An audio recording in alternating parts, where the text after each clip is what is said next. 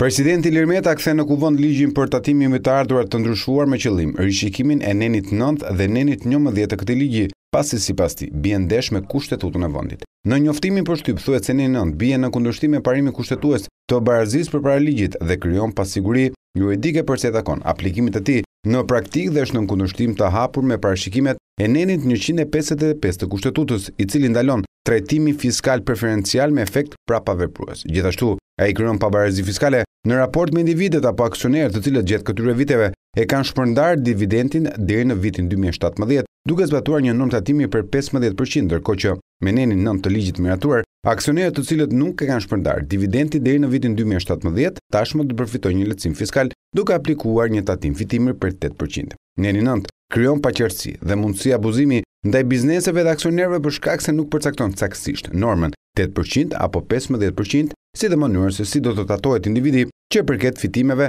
të pashpërndara të vitit dy mijë e shtatëmbëdhjetë. Por sipas Presidencës, neni njëmbëdhjetë i ligjit bie ndesh me parashikimet e nenit tetëdhjetë e katër pika tre e Kushtetutës sa i takon afatit të hyrjes në fuqi të këtij ligji. Ky nen parashikon se ky ligj botohet në fletoren zyrtare dhe hyn në fuqi në datën një janar dy mijë e nëntëmbëdhjetë, por kjo dispozitë bie ndesh me parashikimet e nenit tetëdhjetë e katër pika tre Kushtetutës që diktojnë detyrimin që ligji duhet të hyjë në fuqi jo më parë se pesëmbëdhjetë ditë nga botimi i tij në fletoren zyrtare thuhet në njoftimin e Presidencës. Presidenti i Republikës Meta i kërkon Kuvendit të rishqyrtojë këto dy nene me qëllim që ato të mos bien ndesh me parashikimet kushtetuese të vendit ku përfitues realë të lehtësirave fiskale të parashikuara në këtë ligj të jenë të gjithë qytetarët shqiptarë dhe biznesi pa diferencime dhe me trajtim të barabartë.